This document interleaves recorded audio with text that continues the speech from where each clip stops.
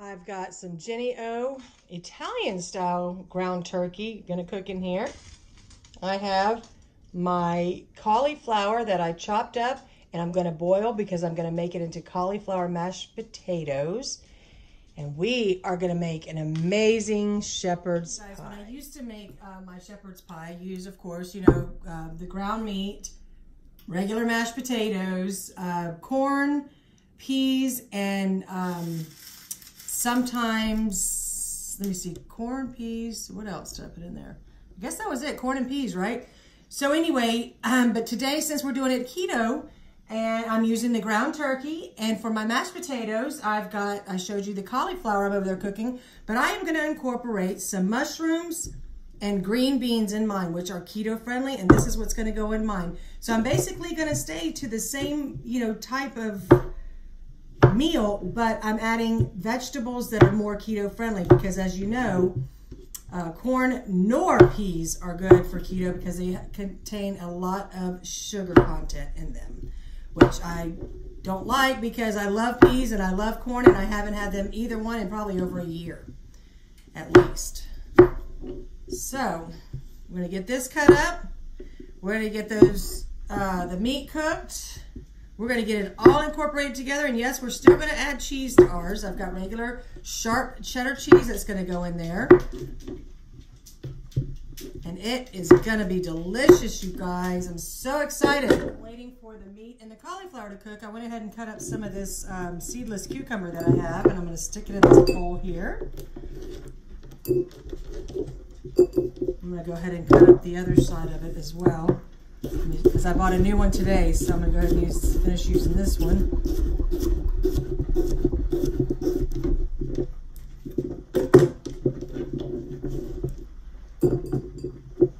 All right, there's the cucumbers here. I have one of those on the vine tomatoes. Let me rinse this off.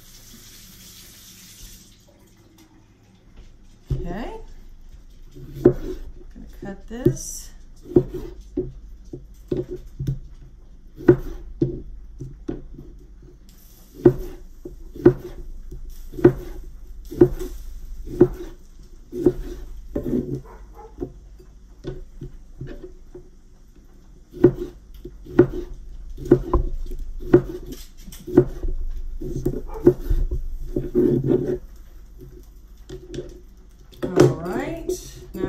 tomato and cucumber in there. That I am going to add a little bit of avocado. Let's go ahead and get that peeling off of there.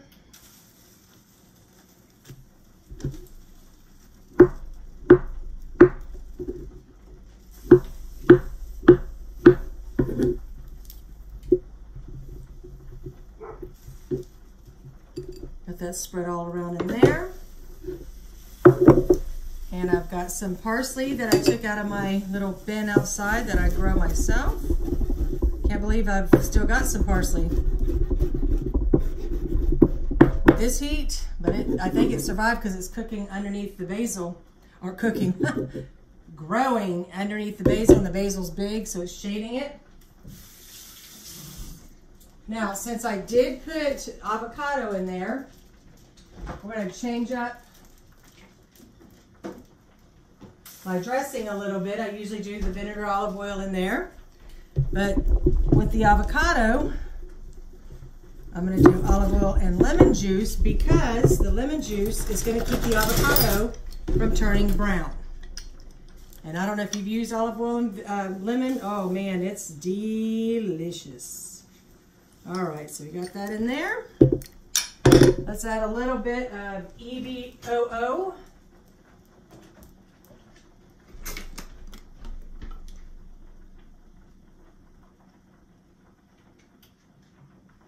There we go. To that, we're going to add a little bit of salt.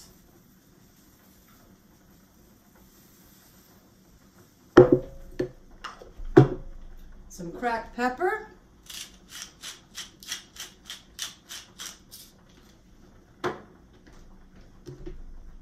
And voila, look at that. I'm not gonna stir it right now because I'm not gonna be eating it right now. So I'm gonna leave it just like this to sit. And then when I'm ready to eat is when I will stir it. All right, let me get over here and check everything cooking over here and I'll be right back with you guys. In here that I'm gonna cook the shepherd's pie in. Let me go ahead and set my oven to 350 as well. Let's go ahead and put this ground turkey in here.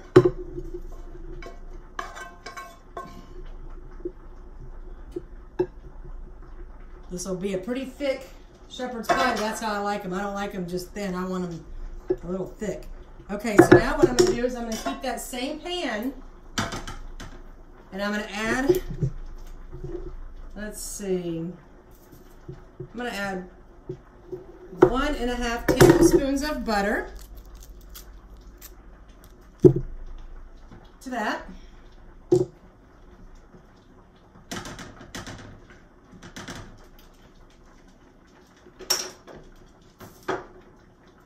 We're gonna let that butter melt down a little bit and then we're gonna throw in these mushrooms, okay? And we're gonna saute those mushrooms up in that what butter. I used here, I told you it was the Jennie-O, the ground turkey, and it is one pound. So I use one pound and one head of cauliflower is what I'm using. Okay, let's go ahead and add those mushrooms. Y'all, you know, you can't go wrong adding buttery sauteed mushrooms instead of corn or peas. You know this is going to be delicious right here. That Look at that. That, that. Oh man, those mushrooms just soak up that butter. Mmm. Okay, and to that, we're to just salt over the top. And of course some ground pepper.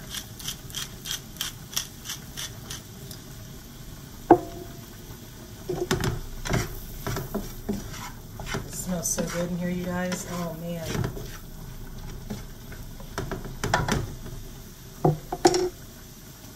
And you can see over here, this is still boiling. I'm just trying to get it soft enough to where I can mash them. They're getting there. They're getting there. Okay, so let's go ahead and let these cook. And we're going to take those out and get those mashed. Drain the water out of here. I put two tablespoons of butter in here. Normally, I also put sour cream, but I'm staying away from, I'm trying to stay away from some of that stuff as well. Some, I don't want to eat as much dairy, but I'm still going to have my butter and a little bit of the sharp cheddar cheese. But I didn't buy cream cheese and I didn't buy sour cream this week. So let me go ahead and get this all mixed up and I'll be right back. So I've got the meat here ready. Gonna put a little bit of green beans in here. Then we're gonna add a little bit of mushrooms. And I'm adding the juice with the mushrooms because I like that juice at the bottom. Okay. Then we're gonna add some more green beans. Might as well finish up the can. All right, now we're gonna add the cauliflower mash right on top.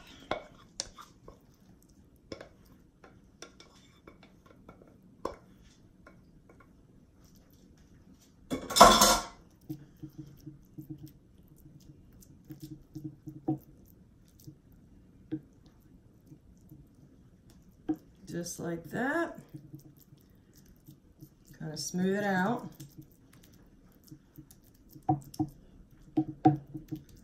Ooh, this is gonna be so good.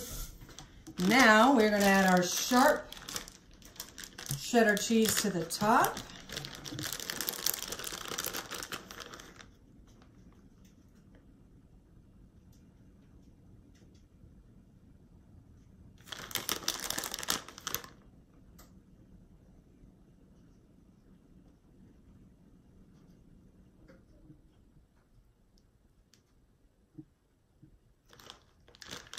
All right, guys, there it is. It is ready for the oven.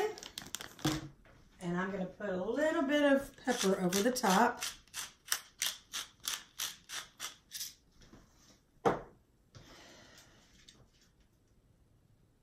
All right, I'm gonna go ahead and get this in the oven and then I'm gonna bring you back when it's ready. Right, I have it in the oven baking for about 20 minutes and I just turned it over to broil, so I'm gonna watch it, but look how good that looks, you guys.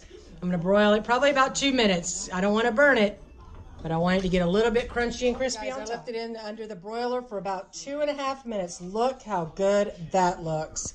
Now we're just gonna let it sit there to cool. We'll probably have a little bit of it later, but it is way, way, way too hot right now to even try. So when it's time, I'll let you know.